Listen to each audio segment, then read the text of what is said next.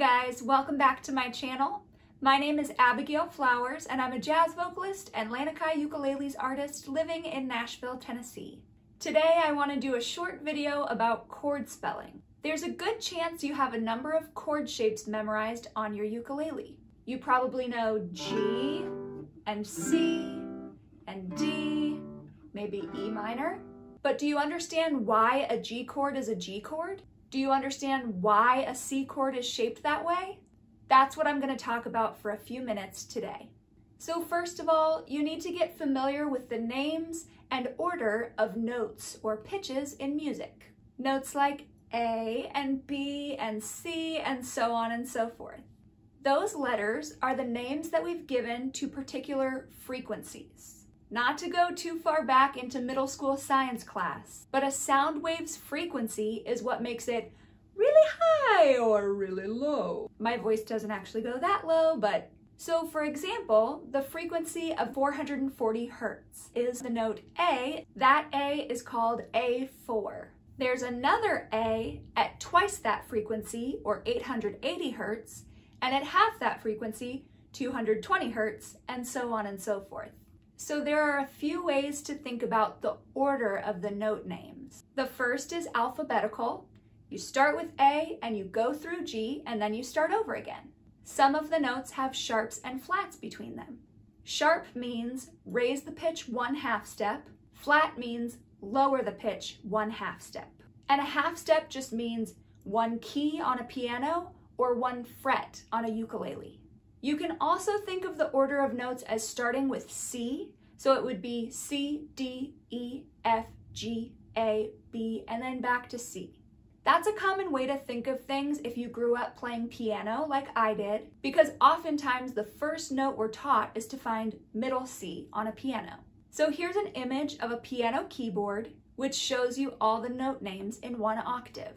You'll notice that some notes have two names. The note that's one half step above C can be called C sharp or D flat.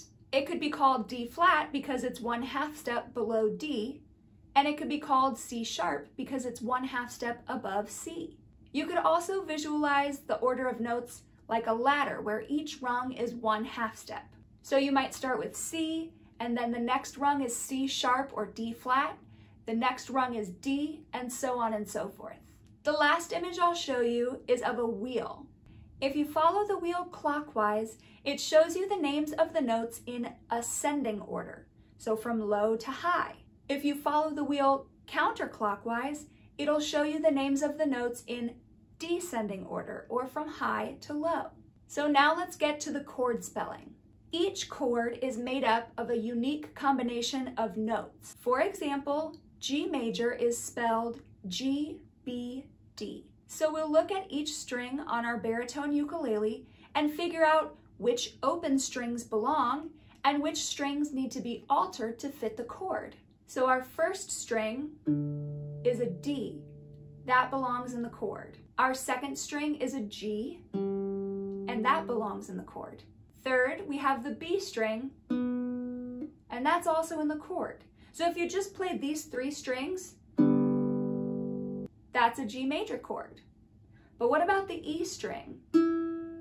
That's not G or B or D. So we need to change that string to fit the chord.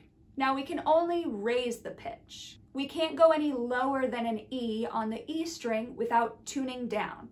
And I don't want to do that in the middle of a song. So we'll try each fret until we've got a note that fits in the chord. So we start with our open E string, which we know is not part of the chord. The first fret would be an F because that's a half step above E. That's not in the chord. Next we have F sharp. That's not in the chord. But if we play the third fret, that's a G, which of course is in a G major chord. So now we're playing D, G,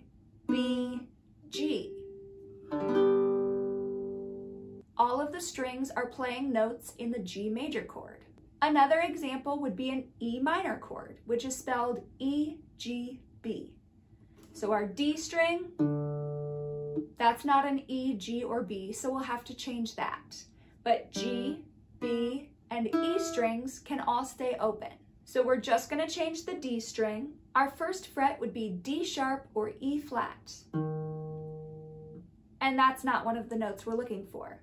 So we'll move up to the second fret, and that's an E, which does belong in our chord. So now we're playing E, G, B, E.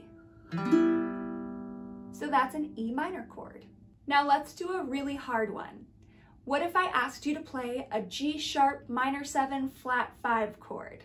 The notes in that chord are G sharp, B, D, and F sharp. So first we need to look at each string and see which ones can stay open to fit our chord. D, that can stay. G, not quite. B, all clear. And E, that'll need some changing. So we're only going to look at our second and fourth strings. We already know that the open G won't do, so we'll try our first fret, G sharp. That was easy. Now we need to find the right note on our E string. So once again, open E, not quite there. Our first fret is an F, not quite. But that second fret is an F sharp, and that's in our chord. So we're going to use the first fret of the G string and the second fret of the E string and that's a G sharp minor 7 flat 5. Of course, one thing that will make this knowledge much more practical is knowing which notes are in which chords. Honestly, that takes a lot of time to learn, but it's totally worth it. So for now, I'll give you a few chords that you can work on on your own and let me know in the comments when you think you've got it figured out. And we'll talk more about chord spelling in a future video. Real quick, I wanted to let you guys know that I've been nominated for a local award. I was nominated for Best Jazz Vocalist in the 2020 Nashville Industry Music Awards. Voting is open now, and it doesn't matter which city you live in, and I would love it if you'd take a second to cast a vote for me. All right, here's some homework. Can you find the notes in a D minor 7 flat 5 chord or D half diminished? The notes are D, F, A flat, and C. Don't forget that A flat can also be called G sharp. Next, why don't you work on a D sus chord? The notes in a D sus chord are D, G, and A. This one will be a little bit tricky because you have to make sure that all three notes are present in the chord you're playing. Lastly, look for an F sharp minor 7 chord. The notes in that chord are F sharp, A, C sharp, and E. That's all for today. Thank you guys so much for watching.